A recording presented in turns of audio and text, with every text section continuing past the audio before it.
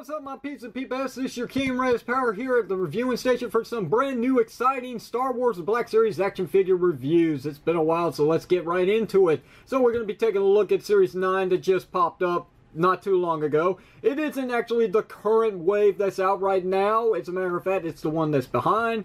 Uh, the one that's out right now, it's got more of the Rogue One characters, which I am looking forward to getting to eventually. But right now, it's been enough as it is catching up with Star Wars The Black Series. So let's go ahead and take a look at the first figure to come offered in this series, which is none other than Princess Leia. Again, that's right, previously reviewed figure was the 40th anniversary run of this said figure with a minor tweak in the sculpting of the head in order to make her look more accurate to Carrie Fisher when, you know, in A New Hope. So, uh, with that said, I've just recently discovered that this figure inside this packaging has been uh, restocked with the brand new head sculpt that was given with the 40th anniversary run, which I do have right here. So this right here is the 40th anniversary Princess Leia Organa figure that I reviewed not too long ago. And this is the brand new wave of uh, Wave 9 action figures to offer the new head sculpt for Princess Leia going by the actual stamp code on the Wave 9 box set from Hasbro, which is 62981. I will repeat that. 62981. If you happen to come across that or anything above it, that is the wave that's got the brand new head sculpt. If not, well then you're going to have um, what people are considering to be a copy and paste of the actual head sculpt coming from the fat chick from the Fifth Element instead of looking like Carrie Fisher from A New Hope. So with that said, basically that was everything to go about with this review. It's basically the same figure again, maybe with a little bit of some tweaking here and there in certain areas, but outside of that, this is what is offered in the 40th anniversary or what was offered before it said. But before we take a look at the action figure in hand, let's go ahead and take a look at her packaging as partake of every single video review when I can. So it's your generic Star Wars Black Series packaging ever since... Um, the Force Awakens, if I'm not mistaken, which is what changed the packaging to look more collector friendly, which it definitely does. Got a nice picture of, uh, well, yeah, sure, a picture. Okay, we got the logo for Star Wars The Black Series. We got the nice picture profile image for Princess Leia Organa from A New Hope. Very nice. On the side here, we got number 30. She is the first figure to come out of Wave 9.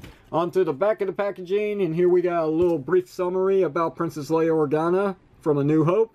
There you have that.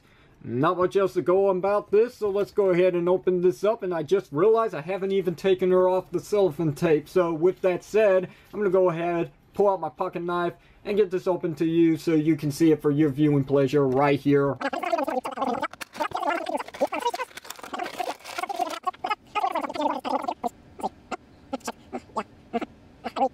Put that aside.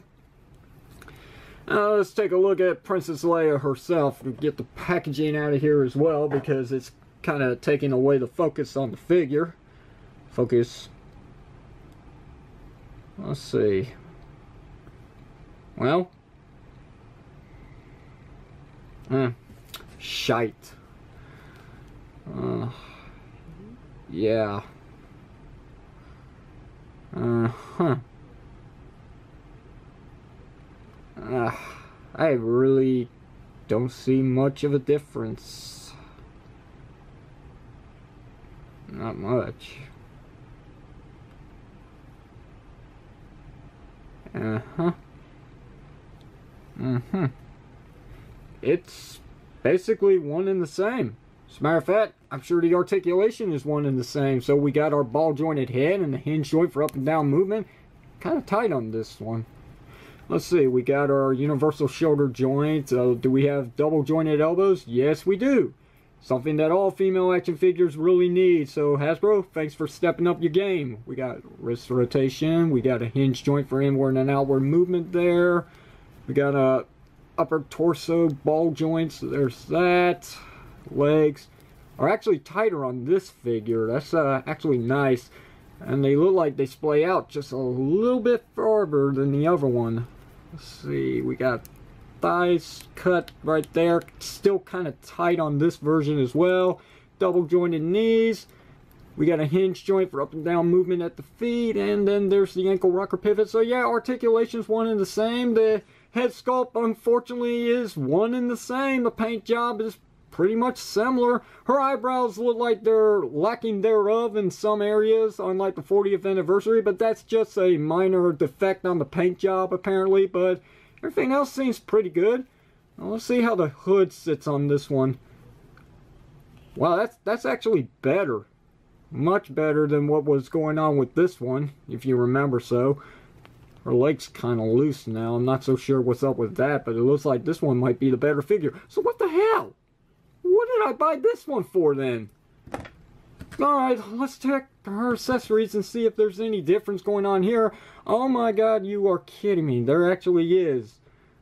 Yeah, there's, there's a little shot of, like, silver paint right there is that actually on the 40th anniversary one?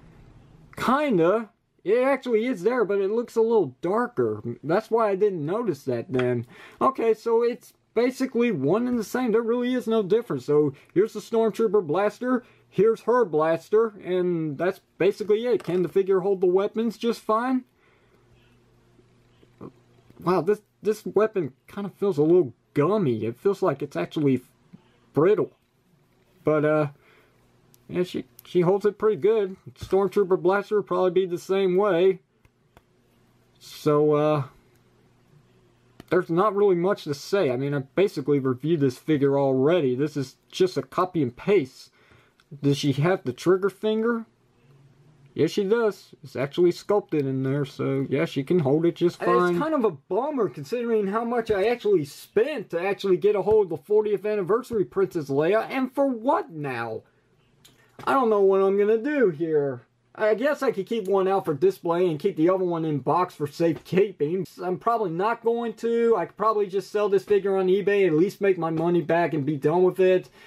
But I never know when something could go wrong with one of these figures and I might need the other one. So, uh, right now as it stands, I'm certainly at a loss with this. But with that said, that's basically going to do it for your video review. If you want to know what the size comparisons is between another figure, well, you basically got it right here. I mean, it is a different figure, kind of, sort of, so it, it does make sense.